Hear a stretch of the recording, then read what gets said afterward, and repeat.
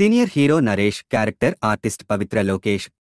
వీళ్ళిద్దరు కొన్నాళ్ళుగా సహజీవనం చేస్తున్న విషయం మన అందరికీ తెలిసిందే. అయితే అంతకుముందు గుట్టు చప్పుడు కాకుండా వ్యవహారం నడిపించే వీరు. నరేష్ మూడవ భార్య రమ్య వారిని రెడ్ హ్యాండెడ్గా పట్టించడంతో వీరి విషయం బయటపడింది. ఇలాగూ అందరికీ తెలిసింది కదా అని వీరు కూడా ఇక మొహమాటం లాంటివి వదిలేశారు. ఇప్పుడు నరేష్ ఎక్కడ ఉంటే అక్కడ పవిత్ర కనిపిస్తుంది.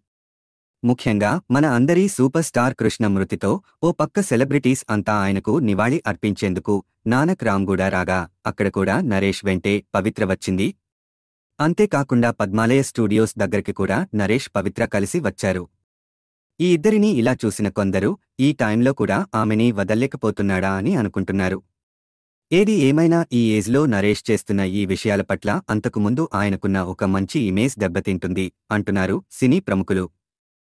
ఒకవేళ విజయ నిర్మల గారు బ్రతికుంటే మాత్రం ఖచ్చితంగా నరేష్ని మందలించి ఉండేవారు అని కాస్త కూస్తో కృష్ణ గారి మాట అయినా వింటాడేమో అనుకుంటే ఆయన కూడా ఇప్పుడు అస్తమించారు అని అభిప్రాయపడుతున్నారు. తాను ఏం చేసినా అడ్డుకునే వారే లేరని నరేష్ పవిత్రని నాల్గవ భార్యగా చేసుకుంటాడా? లేక కేవలం సహజీవనం మాత్రమేనా అన్నది తెలియాల్సి ఉంది. ఓ పక్క కృష్ణ మరణంతో అభిమానులంతా బాధపడుతుంటే నరేష్ మాత్రం తన ప్రేయసి పవిత్రతో పద్మాలయ స్టూడియోస్లో కనిపించడం కొంత ఇబ్బందిగా అనిపించింది.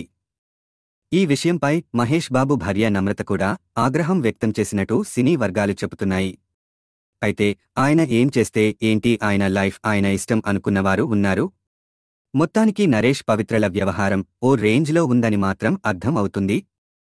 వారి ఇద్దరినీ ఇంక ప్రశ్నించేవాళ్ళు లేరు అని అభిప్రాయపడుతున్నారు నెటిజనులు. ఇంకా వాళ్ళ వ్యవహారం ఎక్కడి వరకు వెళ్తుందో చూడాలి మరి. అయితే దీనిపై మీరు ఏం అనుకుంటున్నారో కింద కామెంట్ చేయండి. అలాగే ఈ వీడియోని లైక్ చేసి మీ ఫ్రెండ్స్ అండ్ ఫ్యామిలీ మెంబర్స్కి షేర్ చేయండి. మా ఛానల్ని సబ్స్క్రైబ్ చేయండి.